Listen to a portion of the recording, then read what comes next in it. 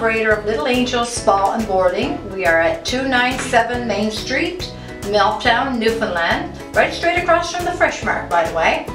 And uh, my phone number is 882-2419. Now, and when you come to Little Angels Spa and Boarding and bring your little pet, we treat them like kings and queens.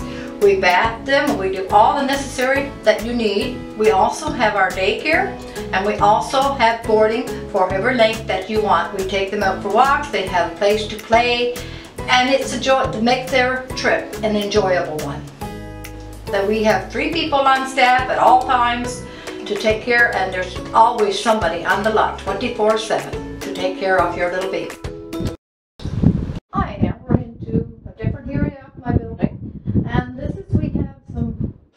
and some sweaters for the little doggies. And when they come in and get shaved down, especially if the weather is cold, I take out a little sweater and I get them so they won't get cold to go home.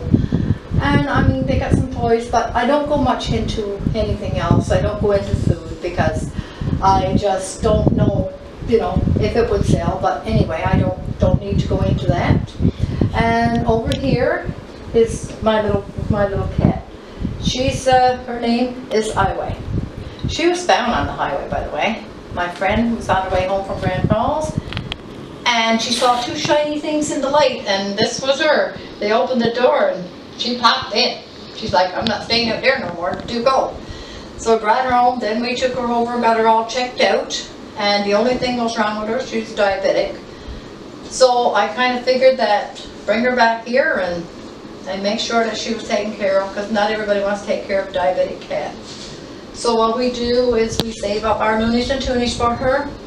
And when she gets low, she goes to the vet and we get her prescription for her needles. She has two a day and is on insulin now for the rest of her life. She's only seven years old, but I think she had a rough life. First she had a good life, but then she was just out on the highway, probably ran away or something. But now, she's spoiled. now she's my spoiled kid.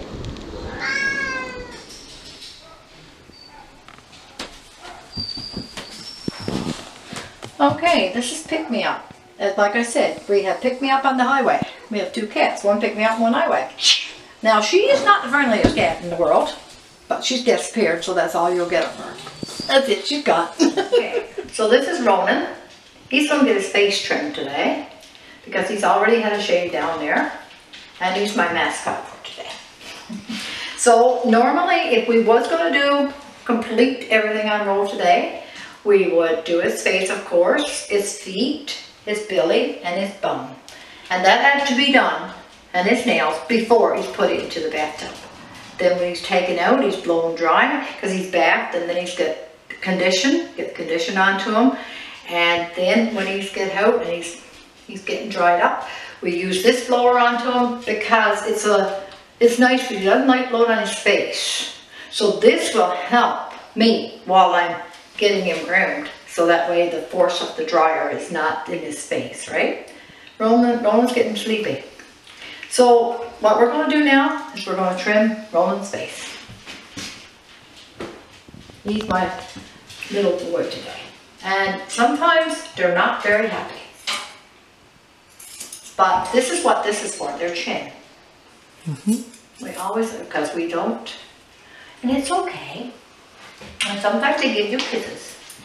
Right, Roland? Yeah, that's right. Kisses? Oh, no.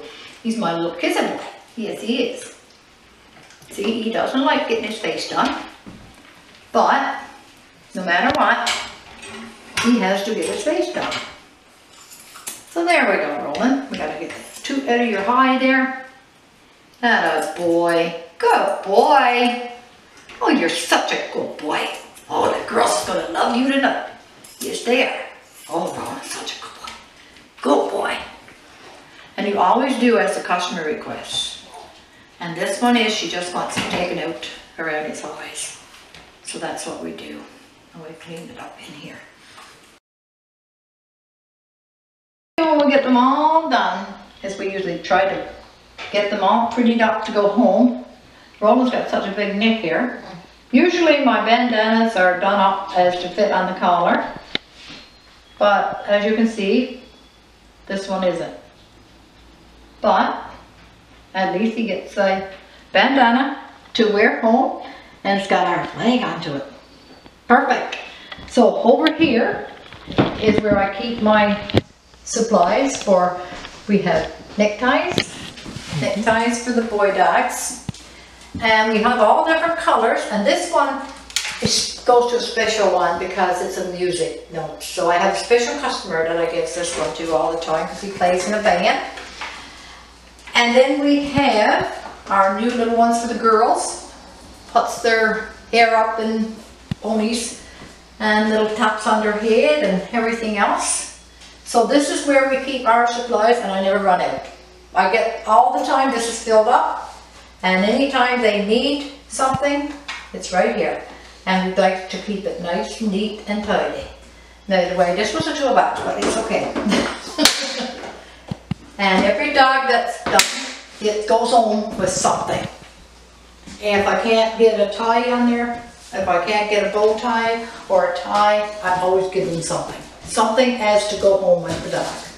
Well, if you bring in a puppy that has never been groomed before, we don't even know if we're gonna get anything done with them, so your free visit, it's a free visit. And uh, our prices start at twenty dollars. That's for small ones, 20 plus the GST, right? And then we go up to 25. My highest price here is $40. And that's for your extra large dog. So we have 20, 25, 30, and 40. I support the SPCA. I have taken many animals over to the SPCA and I found, they found homes, but I've always been very strict in saying that I need to know where the dogs are going. And at Christmas time, I put out the boxes, which we collect, which is wonderful. The people here support me in every way. Then I take over a big, like a, a vehicle full of uh, food and cleaners, you name it. It goes over about two or three thousand dollars worth of stuff we collect, and I take it over to the SPCA. And I mean, every store, every store in the bay and Hydro, everybody jumps in. Lions Club, everybody.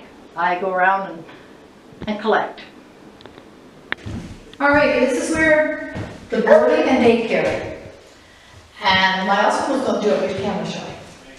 These are all the kennels. We can equip 25 animals here because we use this space and we use every space we have when we, because sometimes we have that. Each one got a kennel.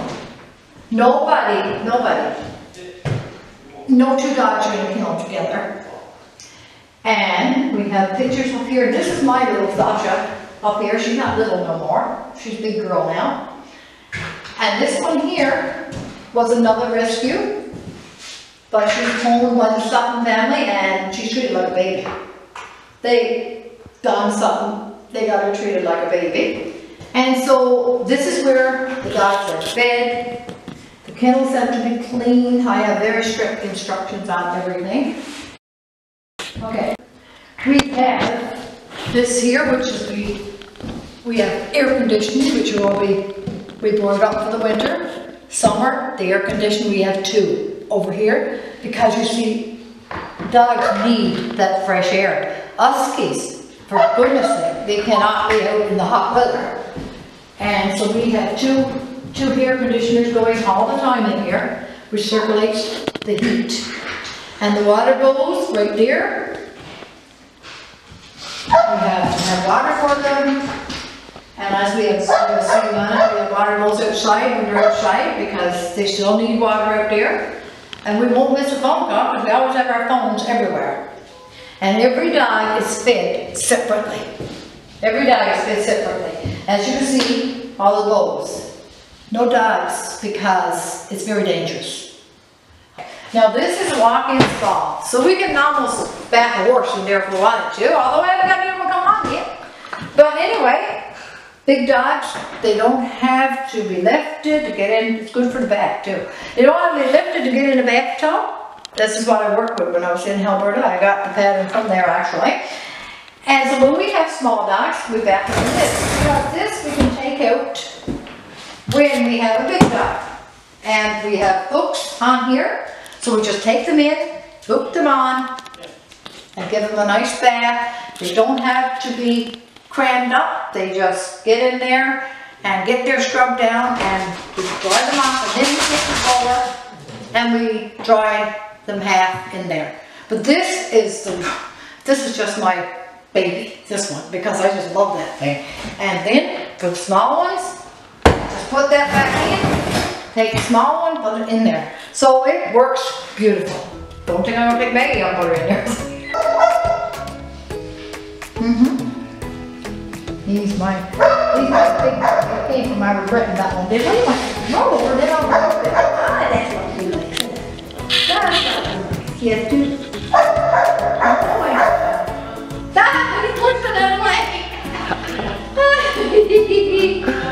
Oh, Rexy poo. Oh, Rexy poo.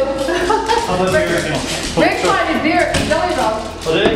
Du har tagit mycket eller? Yes, please. No beer. Rick was the one, and, uh, he came over, sniffed his, uh, his BB, and